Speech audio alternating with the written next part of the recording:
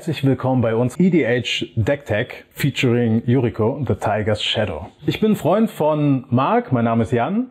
Das kannst du dann umdrehen.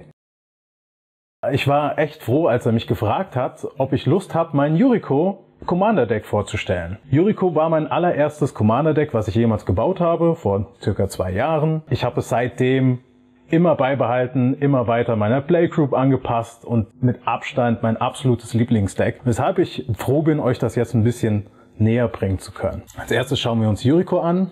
Yuriko the Tiger's Shadow. Yuriko ist eine 3-Mana-Kreatur für Blue, Black und ein farbloses Mana und hat eine sehr einzigartige Fähigkeit, nämlich Commander Ninjutsu. Für Blue und Black können wir Yuriko entweder aus der Command Zone oder von der Hand gegen eine ungeblockte Kreatur austauschen. Darauf basiert das komplette Deck und die komplette Strategie, mit unseren Ninjas durchzukommen und Schaden zu machen, um Yurikos Trigger auszulösen. Yuriko hat den Trigger, whenever a ninja you control deals combat damage to a player, reveal the top card of your library and put that card into your hand. Each opponent loses life equal to that card's converted mana cost. So viel zum Commander. Auch sehr spannend, es ist eine Judge Foil mit einer Judge-Hülle, weil ich Judge bin.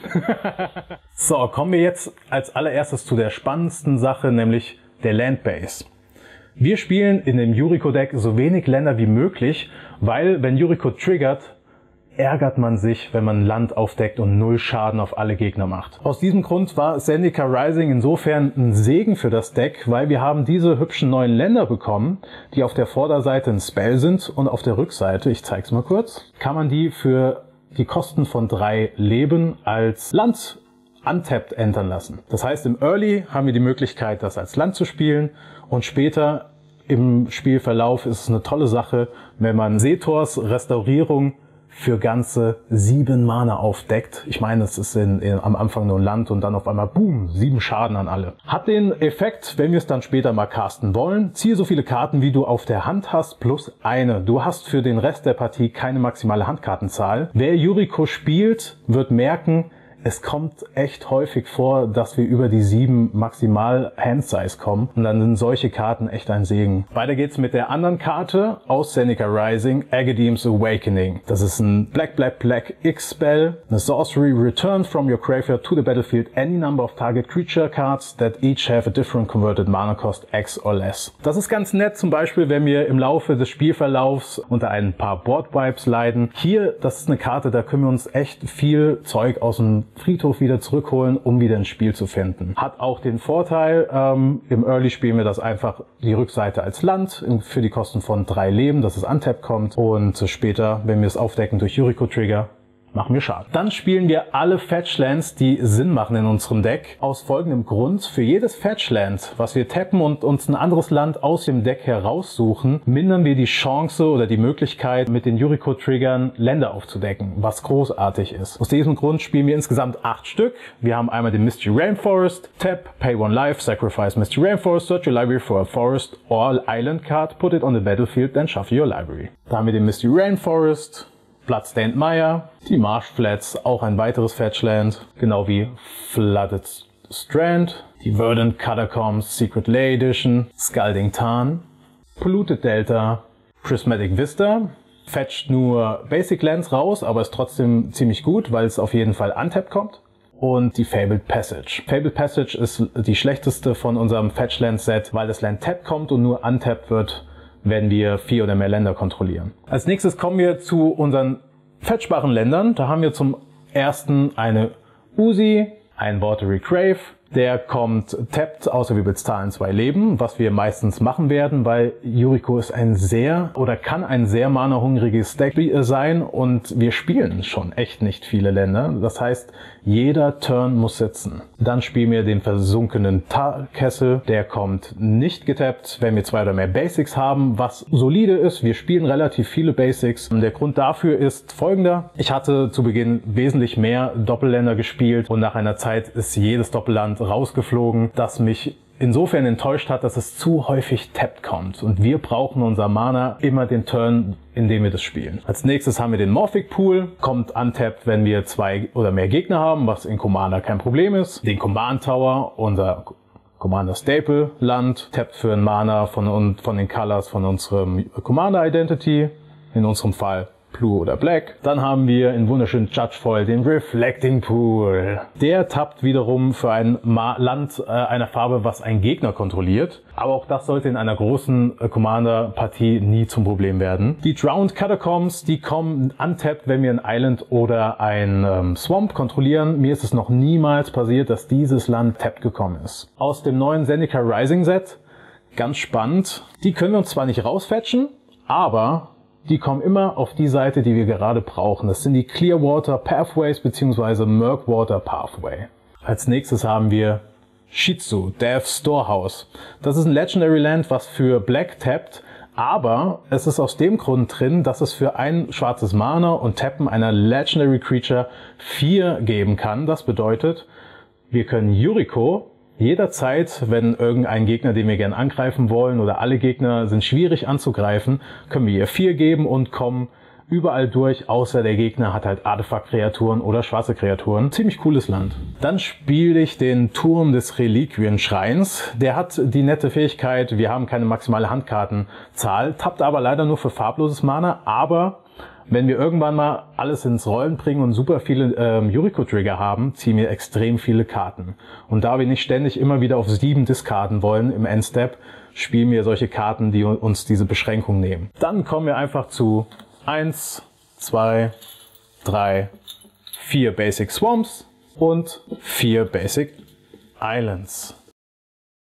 Zum Schluss haben wir noch ein Snow-Covered Island aus der Secret Lair Edition. Sehr hübsch. Snow, den Snow-Covered Swamp, der ist im Moment in einem anderen Deck von mir. Der kommt hier aber auf jeden Fall noch rein. Kommen wir nun zu ähnlichen Karten, nämlich Mana Rocks. Das sind Karten, die vermutlich in jedem einzelnen EDH-Deck gespielt werden und wichtig sind. Da haben wir den Chromox.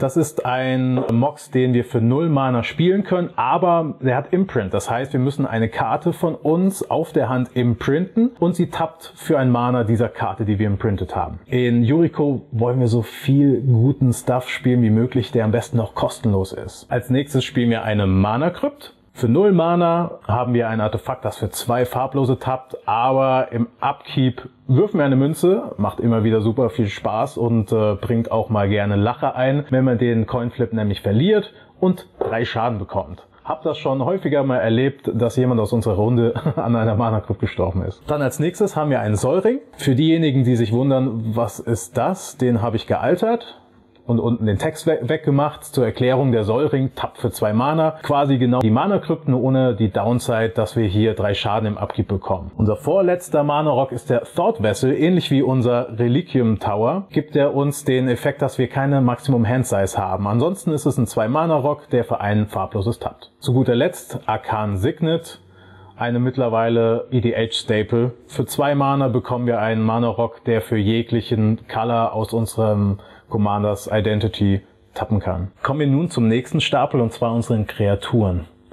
Zur Erklärung, wir wollen so viele günstige Kreaturen mit Evasion, das heißt irgendeine Art von ich komme auf jeden Fall durch wie möglich. Das heißt entweder fliegen oder unblockbar und da ist es natürlich sehr angebracht, für 0 Mana den Ornithopter zu spielen. Der hat 0-2 und ist fliegend. Dass der keinen Angriffsstärke hat, ist vollkommen egal, weil für unser Ninjutsu Abilities brauchen wir nur eine ungeblockte Kreatur. Und das ist natürlich ein ziemlich cooler Turn-One-Play, wenn wir mit Ornithopter aufs Feld hauen können. Können dann später, wenn wir einen Yuriko-Trigger haben, in der Main Phase 2 einfach den Orni wieder ausspielen und müssen keine Handkarte abwerfen im Endstep. Dann haben wir einen ähnlichen, den Memnite, 0 Mana 1-1, dafür kein Evasion. Den probiere ich im Moment aus. Ich glaube, der wird ähnlich gut wie, wie der Ornithopter, weil eigentlich gibt es immer irgendein Target, was man angreifen kann. Vielleicht können wir hier auch ein paar Politics anwenden, um zu sagen, hey, pass mal auf, lass den durch und ich lass dich in Ruhe mit meinen fiesen Konter. Als nächstes haben wir den Triton Shorestalker. Das ist ein Mehrvolk Rogue für ein Blue, der 1-1 hat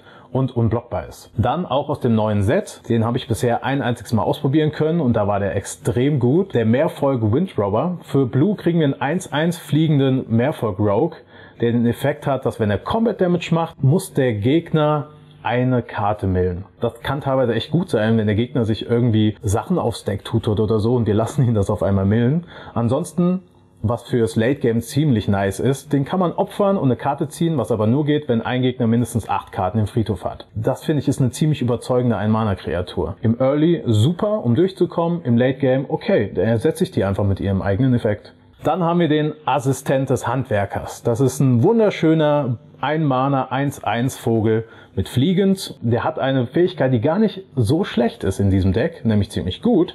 Immer wenn wir einen historischen Zauberspruch, das heißt Artefakt oder legendäre Kreaturen spielen, können wir Hellsicht 1 anwenden. Und in Yuriko zu wissen, was oben auf der Bibliothek liegt, ist Gold wert. Als nächstes die prophezeiende Fee. Für Blue kriegen wir ein 1-1 Feenwesen, Zauberer mit Fliegend und er hat ein ETB, das wir Hellsicht 2 anwenden. ETBs sind für solche günstigen Kreaturen in unserem Deck umso geiler, weil mit den Ninjutsu tauschen wir ja die ungeblockte Kreatur auf dem Board auf unsere Hand aus und können die dann in der Main Phase 2 oder im nächsten Zug wieder ausspielen und kriegen den ETB nochmal. Dann haben wir eine flashy Kreatur, den Spectral Sailor. Für einen Mana kriegen wir einen 1-1 Fliegenden mit Flash, aber der kann uns für vier Mana eine Karte ziehen, was für ein Late Game ziemlich gut ist. Und was ich auch sehr gerne mit dieser Kreatur mache, ich behalte mir das Mana für Konter oder Removal auf und bevor ich wieder dran bin, im Endstep von meinem Gegner, flash ich die wieder rein und kann direkt wieder attacken. Dann haben wir den Mausoleumswanderer. Für einen Mana kriegen wir hier auch einen 1 Fliegenden.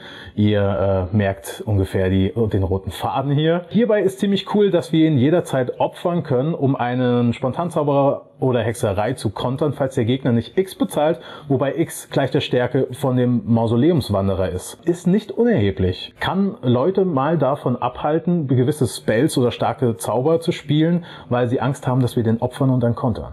Dann auch ein sehr guter Ein-Mana-Drop ist der Morph Dust Changeling. Für einen Mana kriegen wir einen Shapeshifter, der alle Kreaturentypen hat. Das heißt, er ist auch Ninja. Und wir können einen Untapped Creature das wir kontrollieren, tappen und dann kriegt er Fliegen bis zum Ende des Zuges, falls das überhaupt notwendig sein äh, sollte. Der triggert also auch, wenn er Combat Depth macht, Yuricus Effekt. Dann haben wir die Hoffnung von Girapur. Das ist ein Einmaler 1-1 fliegende Artefakt-Top der Kreatur. Ist ziemlich cool, die auf der Anfangshand zu haben, weil es dann egal ist, welche Länder wir haben. Wir können ihn opfern und der Gegner, der von dieser Kreatur Schaden bekommen hat, kann bis zu unserem nächsten Zug keine Non-Creature Spells casten, was vor allem im Late Game, wenn wir wissen, hier, wir wollen jetzt gleich das Game finishen und es gibt vielleicht die ein oder zwei Konterspieler oder Control-Spieler, um die einfach aus dem Game zu nehmen, kann das auch ziemlich, ziemlich wichtig sein. Dann haben wir die gequälte Seele, ein Mana, 1-1, unblockbar.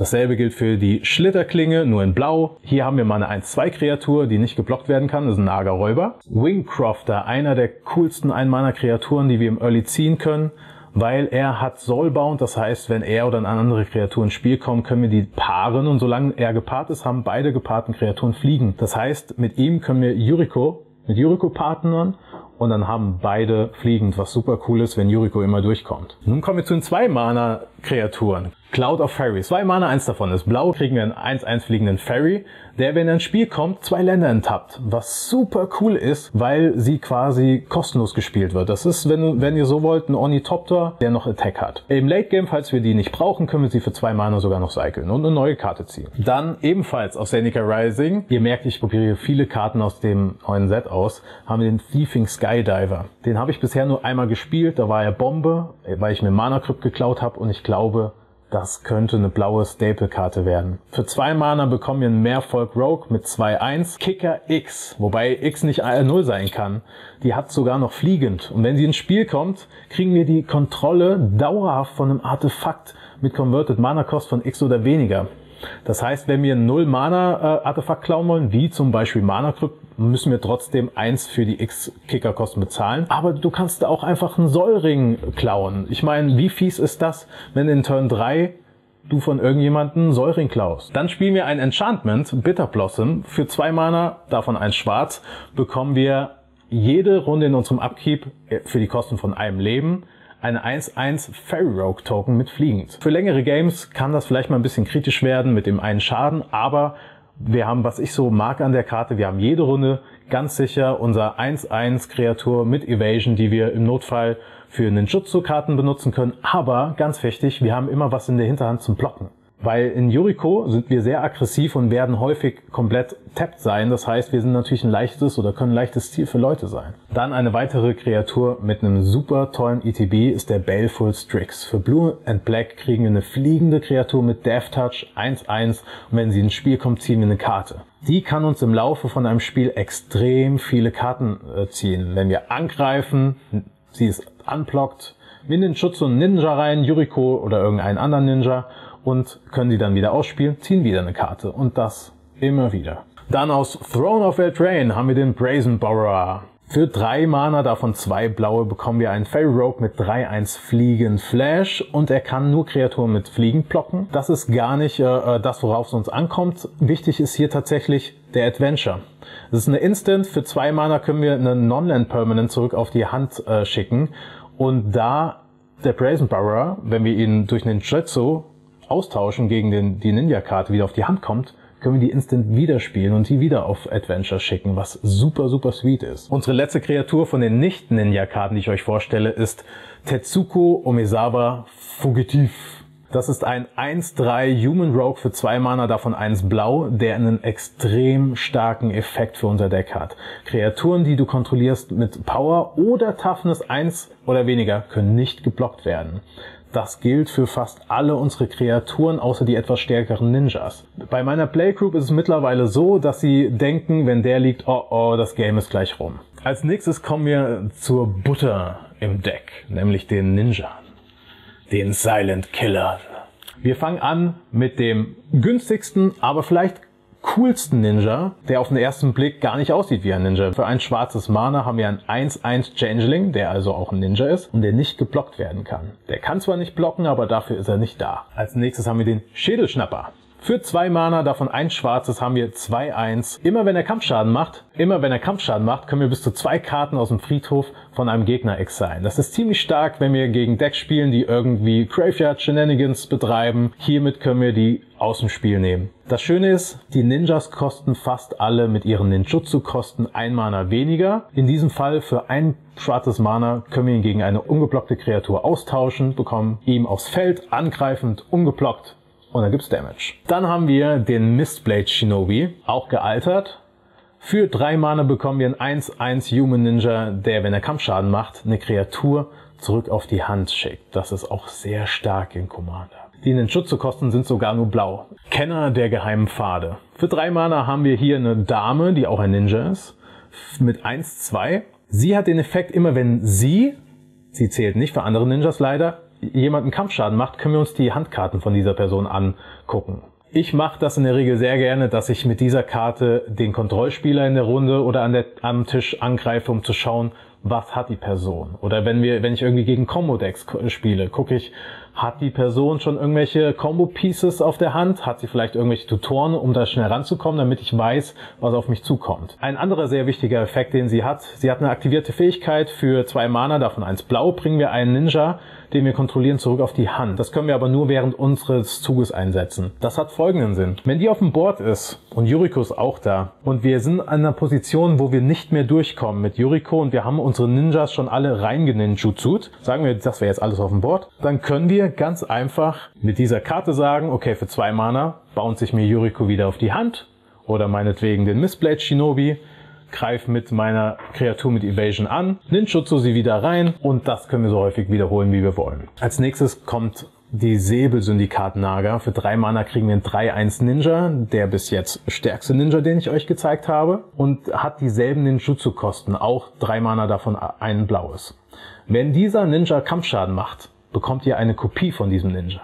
Wenn diese Kopie von diesem Ninja Kampfschaden macht, bekommt ihr von der Kopie eine Kopie und so weiter. Die Kopie kopiert sich. Hiermit gewinnt man Games, wenn die Karte immer wieder durchkommt. Das ist ziemlich gut. Dann haben wir eine Karte, die Legacy-Spieler wahrscheinlich kennen aus dem Ninja-Deck, den Ingenious Infiltrator. Mein persönlicher Lieblings-Ninja weil in diesem Deck ziehen wir viele Karten und mit diesem Ninja auf dem Board ziehen wir noch mehr Karten.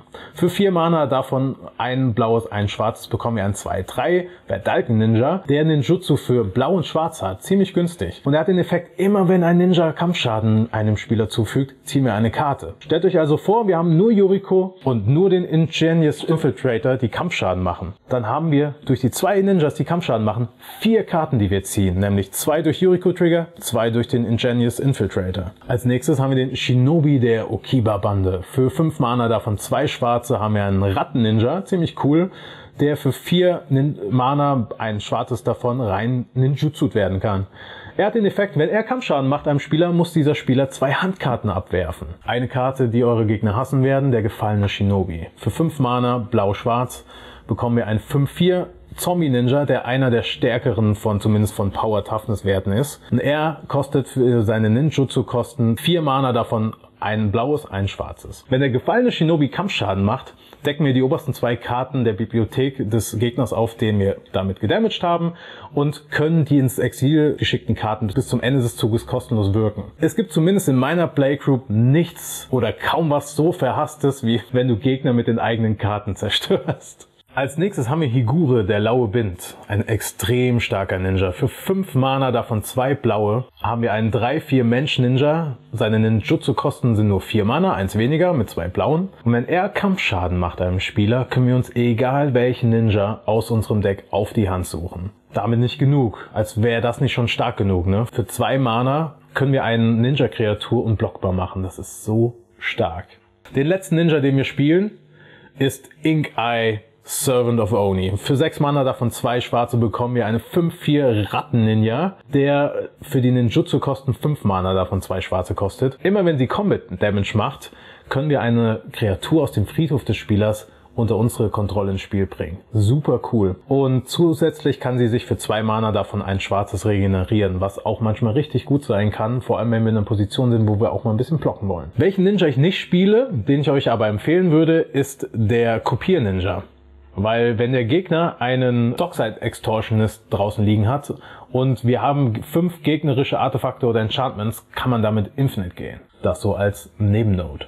Dann als nächstes kommen zwei Enchantments, die sich komplett um Ninjas drehen. Da haben wir zum einen die Arkane Adaption. Für drei Mana können wir einen Kreaturentyp bestimmen, sobald sie ins Spiel kommt. Und dann sind alle unsere Kreaturen, egal wo sie sind, Ninjas. Das ist super stark, um unsere kleinen fliegenden und blockbaren Kreaturen auch zu Ninjas zu machen und mehr Yuriko-Trigger auszulösen. Als nächstes Conspiracy für 5 Mana. Davon zwei schwarze haben wir das Ganze nochmal in schwarz. Das ist exakt derselbe Effekt wie die Arcana-Adoption. Alle Kreaturen werden Ninjas, aber nur unsere. Als nächstes kommt ein spannendes Deck und zwar unsere Kontrollkarten, denn wir wollen Chaos stiften. Wir sind Ninjas. Wir spielen für zwei Mana ein schwarzes Lilianas Triumph. Das ist ein Spontanzauber, der jeden Gegner eine Kreatur opfern lässt. Hätten wir, das andere ist egal, wir haben keinen Liliana Planeswalker. Dann ebenfalls aus Seneca Rising. Man könnte meinen, ich werde dafür bezahlt, werde ich aber nicht. Ich finde die Karte nur super, super sweet. Für zwei Mana Feed the Swarm. Sie hat den Effekt, dass wir eine Kreatur oder ein Enchantment zerstören können. Verlieren zwar Leben in Höhe der CMC der zerstörten Karte, aber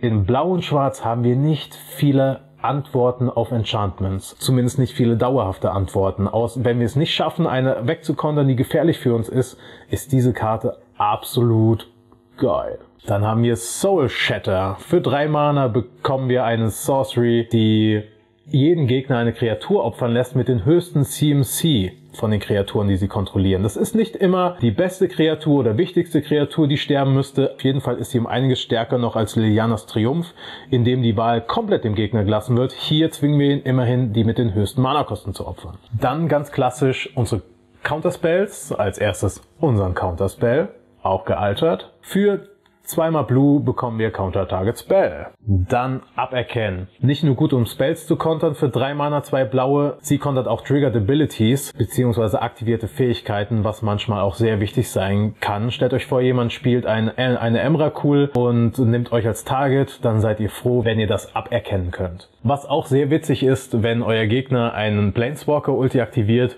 und ihr die dann kontert. Dann ein etwas teurerer Konterspell für 6 Mana, Sublime Epiphany. Es ist eine Instant, in der wir mit verschiedenen Modi, in der wir ein oder mehrere wählen können. Wir haben zum anderen Du kannst einen Spell countern, du kannst einen Target Activated oder Triggered Ability countern, du kannst Non-Land Permanent zurück auf die Hand schicken, du kannst eine Token Copy von einer deiner Kreaturen erstellen oder einen Spieler eine Karte ziehen lassen.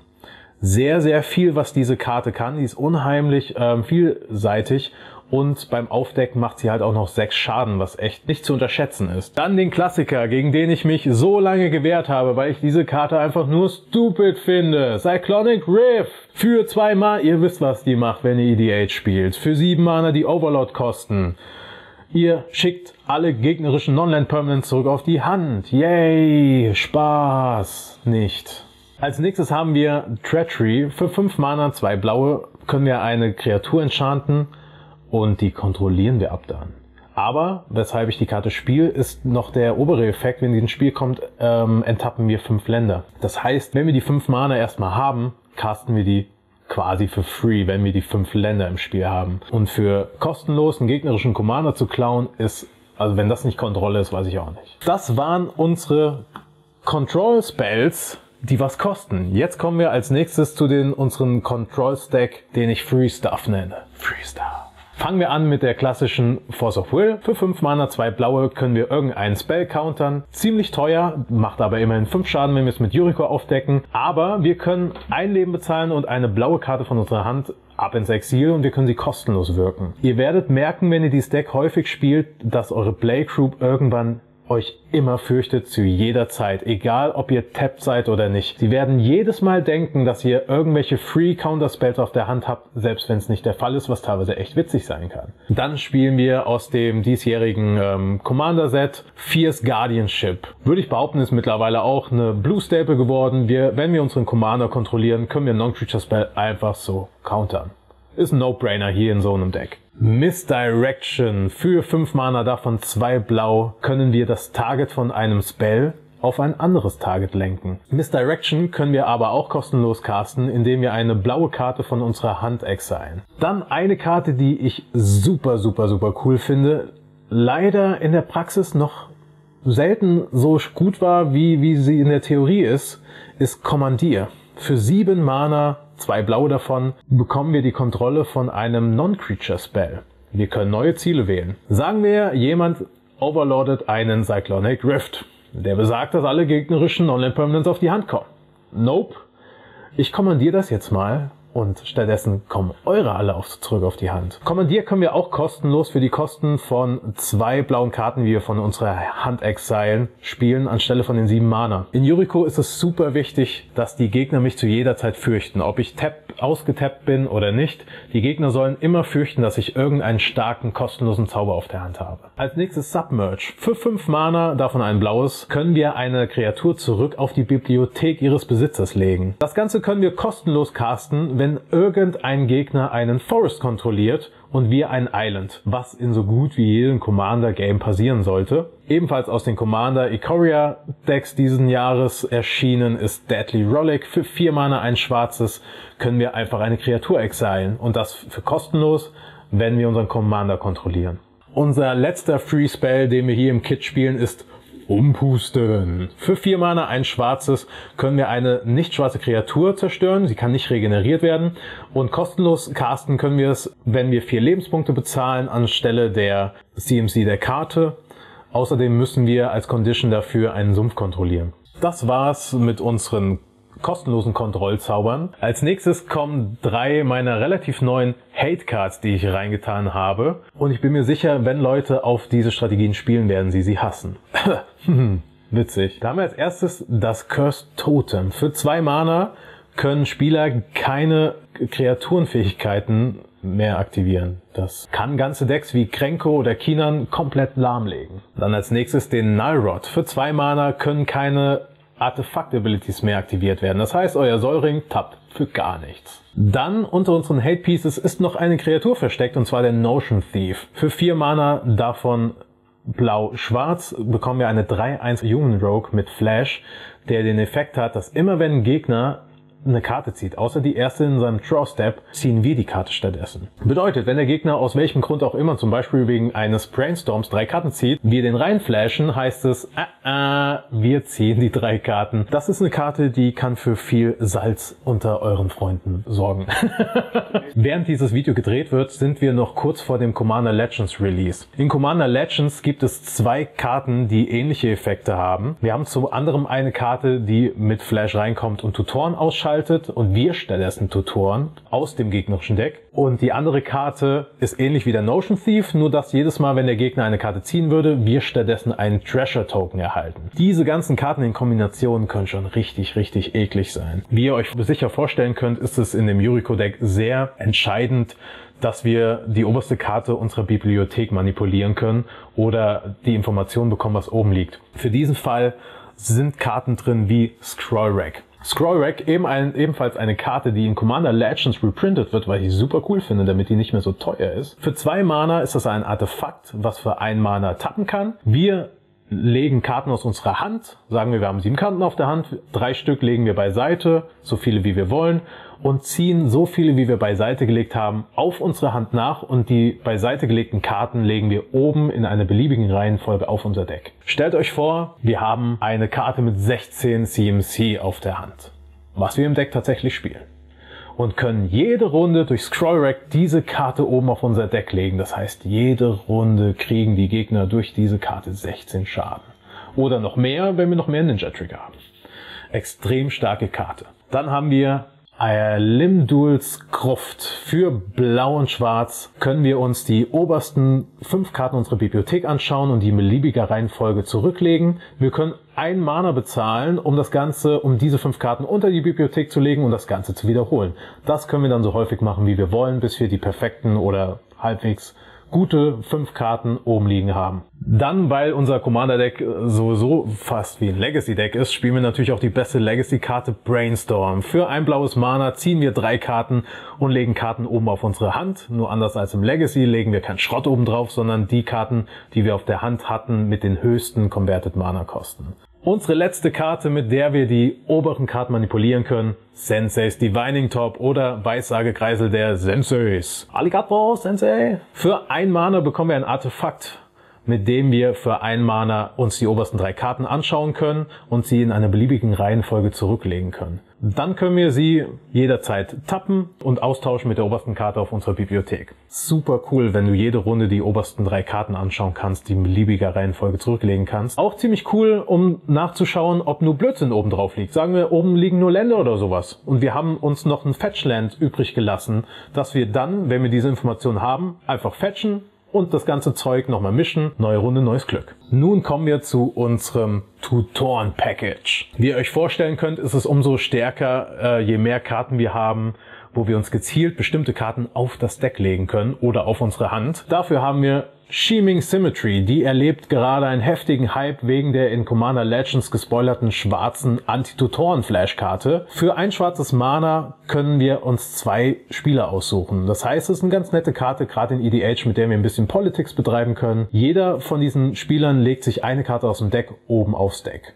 quasi für zwei Spieler ein vampirischer Tutor, nur ohne die zwei Schaden. Dann, wo wir ihn gerade schon erwähnt haben, den vampirischen Tutor. Für ein Mana suchen wir uns eine Karte aus unserer Bibliothek und legen die oben drauf.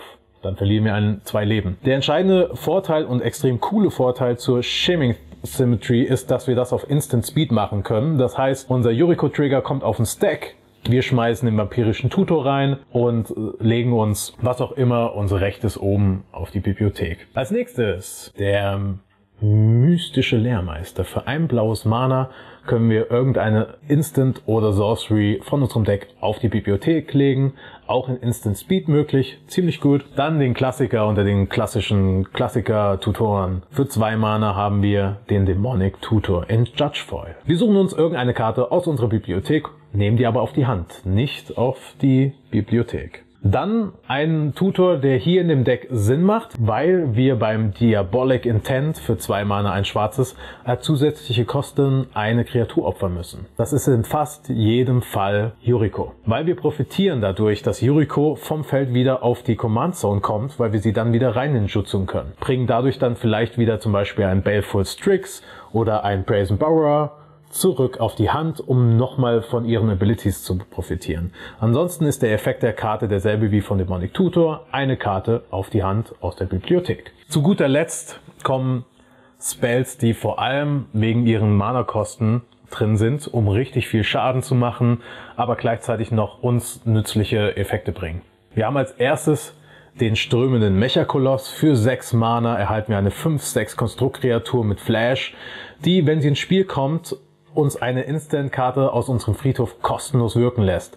Das heißt, auch wenn ihr denkt, ihr habt keinen Konterzauber mehr, solange einer im Friedhof liegt, habt ihr hier einen ziemlich coolen, der gleichzeitig euch auch noch einen überraschenden Blocker aufs Feld geben kann. Da ein Removal im, im Friedhof, den er als Target nimmt und nochmal kostenlos wirken könnt. 6 Mana ist uns aber noch viel zu low, deswegen gehen wir höher mit Temporal Mastery. Für 7 Mana davon zwei blaue bekommen wir hier nach dem Zug einfach noch einen zweiten. Das Coole ist, falls wir die nicht durch Yuriko Trigger ziehen, sondern als, normalen, als normale Karte im Draw Step, können wir für die Miracle-Kosten für nur zwei Mana einen extra Zug nehmen. Was ziemlich cool ist. In manchen Fällen macht es Sinn, die gesamten sieben Mana in dem Zug einfach nur zu investieren, um einen extra Turn zu, zu nehmen, um nochmal mit irgendwelchen Ninjas durchzukommen und nochmal extra Schaden zu machen und nochmal extra Karten zu ziehen. Dann haben wir Treasure Cruise für acht Mana. Ein blaues haben wir eine Sorcery, die uns drei Karten ziehen lässt. Denn obwohl wir so viel Karten ziehen, wird es Spiele geben, in denen wir durch Mass Removal alles vernichtet äh, bekommen. Und dann ist es gut, wenn wir Card Draw Spells haben, die uns auch ohne Kreaturen Karten ziehen lassen. Das Schöne an diesem Spell ist, hier haben wir eine Cost Reduction im Spell, nämlich durch Delve. Das heißt, wir können ähm, Karten aus unserem Friedhof exilen, um sie für jede exilte Karte aus dem Friedhof ein Mana günstiger zu machen. Das heißt, für ein blaues Mana drei Karten ziehen, das nehme ich gerne. Dann haben wir Ähnliche Karte, Dig Through Time, für ein Mana mehr, das heißt hiermit würden wir mit Yuriko Trigger 8 Schaden schießen. Haben wir eine Instant, die uns die, uns die obersten 7 Karten anschauen lässt und wir können zwei davon aussuchen und auf die Hand nehmen. Hat auch Delph, kann also im günstigsten Fall für zwei blaue Mana gespielt werden. Jetzt kommen wir zu den spannenderen Zahlen. 11 Schaden haben wir mit zeitlicher Übergriff. Das ist eine Hexerei mit Wühlen, also mit Delph auch, die wir im günstigsten Fall für drei blaue Mana spielen können und die hat den Effekt, dass wir einen extra Turn erhalten und dann wird sie ins Exil geschickt. Unser letzter und höchster Spell. Meines Wissens die höchste CMC-Karte in ganz Magic. Die spielen wir natürlich. Draco. Für 16 Mana bekommen wir eine Kreatur, die vollkommen egal ist, weil wir die niemals ausspielen werden können. Aber wir haben eine Kreatur oder eine Karte im Deck, die 16 Schaden machen kann. Das war unser Deck-Tag. Ich würde euch gerne jetzt noch ein paar Interaktionen zeigen, die man mit dem Deck machen kann und was ich persönlich so an diesem Deck liebe, warum es mein erstes Deck war und warum ich dieses Deck niemals auflösen werde. Ich möchte euch jetzt erstmal eine sehr coole Interaktion mit vampirischen Tutor, Draco und Brainstorm zeigen. Als Beispiel hierfür nehmen wir, dass Yuriko auf dem Board ist und noch ein anderer Ninja. Die greifen beide jemanden an und kommen durch, sind ungeblockt und machen Combat Damage. Es gehen also zwei Trigger von Yuriko auf den Stack und zwei von dem Ingenious Infiltrator in diesem Beispiel, die aber jetzt für hier egal sind. Uns kommt es jetzt auf die beiden Yuriko Trigger an. Wir machen folgendes. Wir lassen die auf den Stack gehen und spielen dann, bevor überhaupt einer von den beiden resolved wird, den vampirischen Tutor auf Instant. Wir tutoren uns Draco oben auf Stack und haben Brainstorm noch in unserer Hand. Vampirische Tutor ist im Friedhof. Wir lassen den ersten Yuriko-Trigger resolven. Boom, ihr kriegt alle 16 Schaden. Bevor der zweite Yuriko-Trigger resolved, ausgelöst durch den anderen Ninja, der Schaden gemacht hat, spielen wir unseren Brainstorm auf Instant Speed. Gum gum gib dum dum.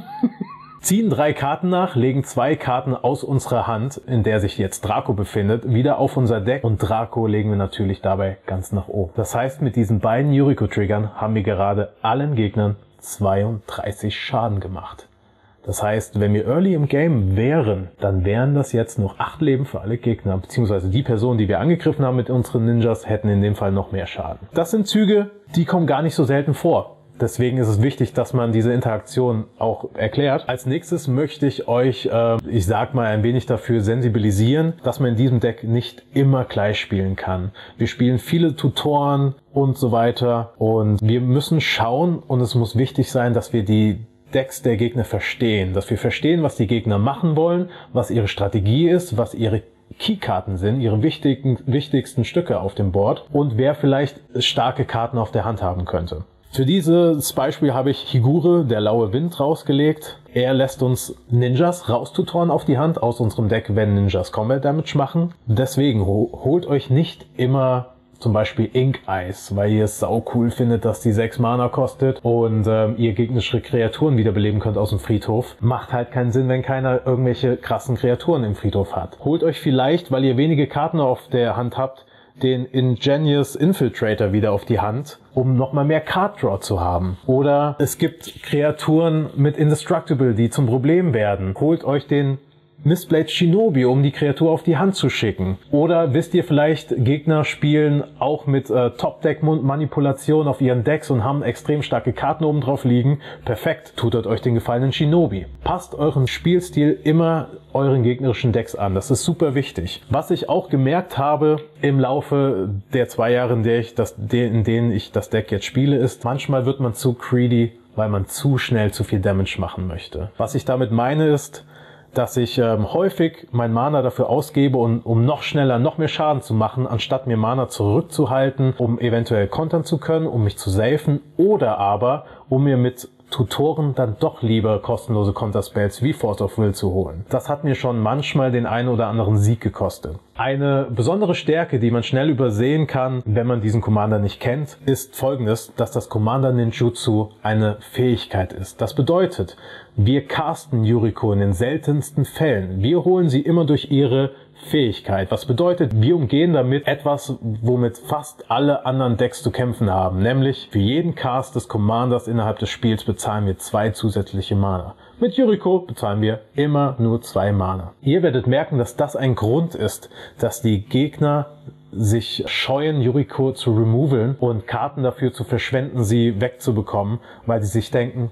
wow, Nächste Runde kommt sie für zwei Mana oder vielleicht sogar in derselben Runde für zwei Mana wieder. Und die meisten Spieler sind nicht bereit, dafür eine Karte aufzuwenden. Aus diesem Grund macht es uns nichts aus, für zum Beispiel Diabolic Intent als zusätzliche Kosten Yuriko zu opfern, weil wir bezahlen trotzdem nur die zwei Mana für die Commander Ninjutsu um sie wieder ins Spiel zu bekommen. Eine andere Karte, die ich ähm, längere Zeit gespielt habe, die auch sehr stark ist, die ich euch empfehlen kann, ist Attrition. Das ist ein Enchantment, mit dem ihr für ein schwarzes Mana eine Kreatur opfert, um eine Non-Black-Kreatur zu zerstören.